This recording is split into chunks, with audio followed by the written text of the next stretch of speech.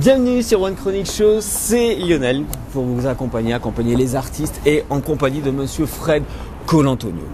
Bonjour. Et je l'ai bien dit. Bonjour. Super. Parce qu'à chaque fois on écorche son, son nom, je me suis dit allez, faut pas que je l'écorche là.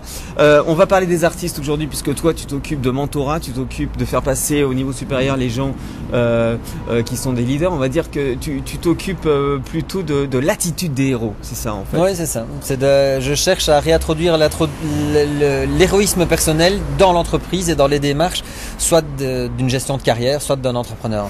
Alors je pense que tu connais euh, l'expression oui mais. Et oui mais ça revient souvent chez les artistes parce qu'ils ont l'impression que pour eux c'est pas du tout la même chose. Pour eux euh, c'est un petit peu différent parce que le, le- le métier euh, le métier est différent, parce que euh, le milieu est différent et en fait c'est exactement pareil pour tout quoi. Bah, disons que les préoccupations fondamentales des gens, elles sont un peu similaires dans, les, dans différentes configurations. Quoi.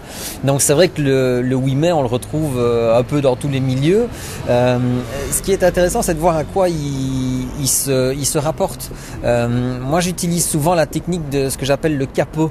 C'est quatre éléments, le capot, quatre lettres, euh, qui appellent à, souvent à des catégories de prétextes qu'on se cherche pour pas faire les choses. Et le, le oui mais, je pense, rentre, là, rentre dans au moins une de ces quatre Le C du capot, c'est les comparaisons. Quand on veut pas se lancer pour faire quelque chose, on dit souvent oui mais euh, lui il le fait mieux que moi, par exemple. Euh, ça c'est le- C du capot. Le A, c'est les autocritiques. Ça veut dire que la personne va regarder en priorité les faiblesses et ce qui fait que ça pourrait ne pas marcher. Ce qui veut dire que quand toi tu lui proposes quelque chose, elle va dire oui mais ça je sais pas bien le faire, ça ça n'ira pas et ça ça ça bon. Le P c'est les prédictions. Donc c'est ça va rater, ça va ça, ça va foirer. Donc ça ne sert à rien d'y aller parce que de toute façon c'est mort.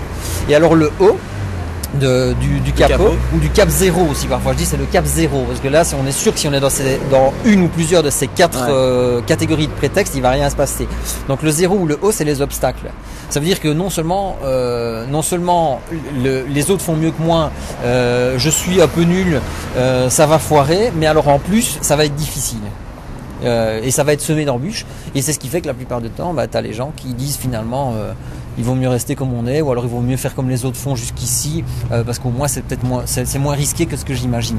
Voilà. Alors on est dans la société, on va dire. Moi je trouve qu'on est dans une société euh, de l'extraordinaire. On voit qu'il y a de plus en plus de gens extraordinaires. On les met sur les réseaux sociaux, on les met dans les émissions, et du coup ça crée des complexes. Et les artistes qui me disent euh, oui mais tu, comprends, oui mais ça revient forcément. Euh, oui mais tu comprends, euh, moi j'ai pas pas envie de publier n'importe quoi.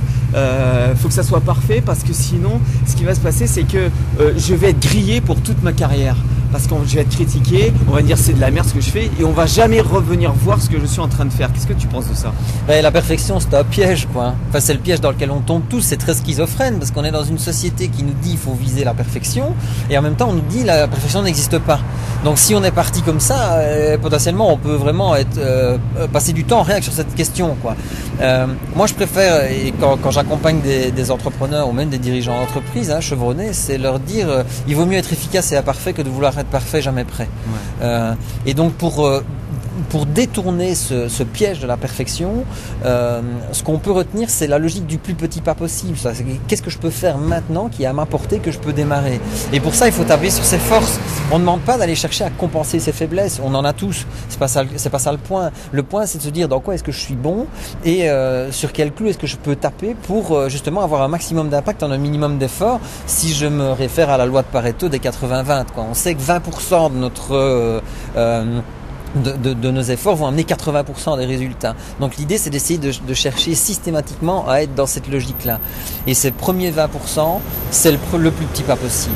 Tu peux les rassurer et dire vous n'êtes jamais grillé de toute façon. Et non, ça c'est les gens qui imaginent que c'est un truc linéaire, que c'est genre un coup une vie quoi. C'est euh, c'est je, je frappe pour tuer. Quand on fait de- des arts martiaux, on dit souvent c'est un coup une vie pour euh, pour cette raison-là.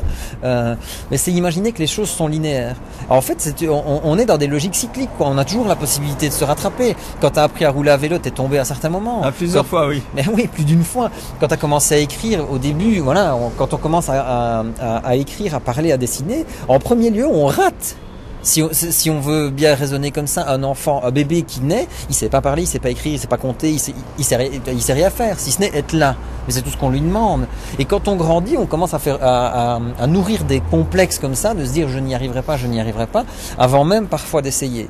Donc moi, ce que je trouve intéressant dans cette logique-là, c'est d'identifier quand il y a un des quatre éléments du capot qui se pointe et de dire ok, j'entends bien, mais je vais le faire quand même pour essayer, de- en tout cas, d'initier une espèce de dynamique, de se dire, on va se laisser la possibilité de voir.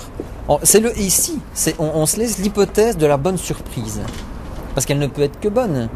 Si on teste et que ça foire, bah, c'est conforme aux prévisions. Mais si on teste et que ça commence à donner quelque chose, alors là, on crée des opportunités. Alors Fred, je suis venu un petit peu à l'arrache, hein, euh, comme, comme, comme tu le sais.